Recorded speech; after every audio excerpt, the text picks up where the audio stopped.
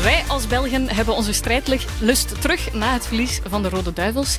En dat komt allemaal door één man vandaag, Thomas van der Plaatsen. Goedemorgen. Goedemorgen. Hallo, goedemorgen. Zeg, gisteren goud gepakt op het EK Atletiek in Amsterdam. Proficiat, hè? Dank u wel. U bent er precies nog niet helemaal goed van. Uh, het is nog eh, heel vroeg en ik heb uh, ja, niet zo vast geslapen. kan ik mij voorstellen. Er zal nog wel wat adrenaline door je lijf stromen waarschijnlijk. Had je dit resultaat eigenlijk verwacht? niet echt, niet echt. Ik vertrok vooral met het dachtje van die limiet richting Rio. En dan ja, kwam er nooit anders uit een bus ook. Dus dat was redelijk onverwacht. Het is wel vrij spectaculair, hè? want twee jaar geleden kreeg je dan de diagnose van kanker en dan nu dit. Dat is toch ongelooflijk goed gedaan, Thomas? Uh, ja, dat is ongelooflijk snel.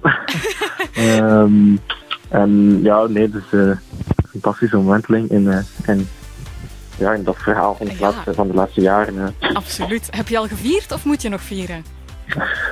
ik moet nog, ik moet nog vieren. Ja. Ik was gisteren ja, redelijk kapot en dan ja, worden naar die medaille van hier naar daar gesleurd. En ja, dan ben ik toch maar gewoon in mijn bed gekomen. Ja, kan ik me voorstellen. Maar laat het maar even op het gemakje doordringen en dan goed vieren. Ja, uh, ik ga het proberen.